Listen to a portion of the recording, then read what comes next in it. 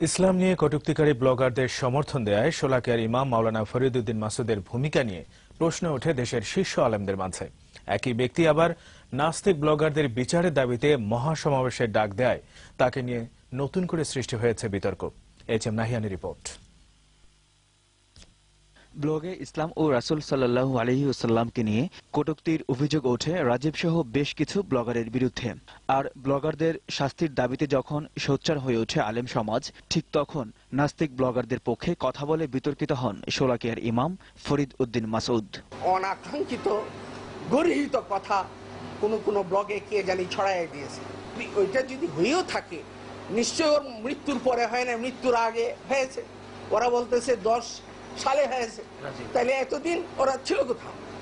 ইসলাম বিদ্বেষী ব্লগারদের বিরুদ্ধে হেফাজতে ইসলাম সহ বিভিন্ন ইসলামী দলের আন্দোলন যখন তীব্র হয়ে ওঠে তখন হঠাৎই তেইশে মার্চ রাজধানীর মতিঝিলে ইসলাম বিদ্বেষীদের শাস্তি জামাত শিবিরের রাজনীতি নিষিদ্ধ সহ বিভিন্ন দাবিতে মহাসমাবেশের ডাক দেয় ফরিদুদ্দিন মাসুদ। মুরতাদ নাস্তিকদের স্থান বাংলাদেশে নাই। উপরোক্ত বিষয়গুলিকে সামনে রেখেই আগামী তেইশে মার্চ শাপলা চত্বর মতিঝিলে আলে মোলামা তৌহিদি জনতার পক্ষ থেকে মহাসমাবেশের ডাক দেওয়া হয়েছে। তবে ফরিদ উদ্দিন মাসুদকে নাস্তিকদের সহযোগী আখ্যা দিয়ে তেইশে মার্চের সমাবেশ প্রতিহত করার ঘোষণা দেয় বাংলাদেশ খেলাফত যুব আন্দোলন সহ আটটি ইসলামী দল। যিনি নাস্তিকদের পক্ষ অবলম্বন করেছেন নাস্তিক মোরতাদরাই ওনাকে দিয়ে মতিঝিলে সমাবেশ করাচ্ছে।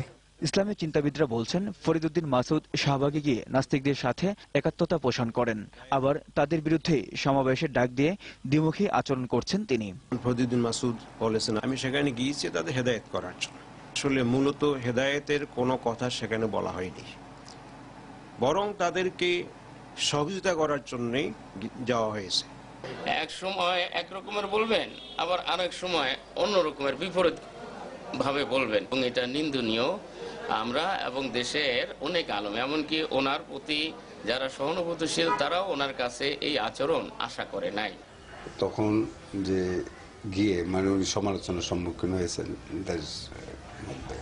সেটাকে ঢাকা দেওয়ার জন্য চাপা দেওয়ার জন্যই এখন নতুন করে তাদের বিচার দাবি করছে। বর্তমান রাজনৈতিক অস্থিতিশীলতা দূর করে দেশে শান্তি ফিরিয়ে আনতে সকল ইসলামী দলকে আরও জোরালো ভূমিকা রাখার আহ্বান জানান ইসলামী বিশেষজ্ঞরা। হেফাজত ইসলাম বা আরও যে সমস্ত দল যারা তাদের বিচার চায় আপনিও তাদেরকে বলেন ভাই আমিও তো বিচার চাই চলেন একত্রে আমরা আন্দোলন করি। আপনি তাদের বিরুদ্ধে যান কেন? সকল ইসলামী দল সংগঠন ব্যক্তিত্বের আহ, একাত্মতা ঘোষণা করা উচিত। সচেতন সমাজ যেভাবে সোচ্চার হচ্ছেন, তাতে ইসলামের লেবাসে কেউ প্রতারণা করার সুযোগ পাবে না বলেও মনে করেন ইসলামী চিন্তাবিদরা। H M Nahiyan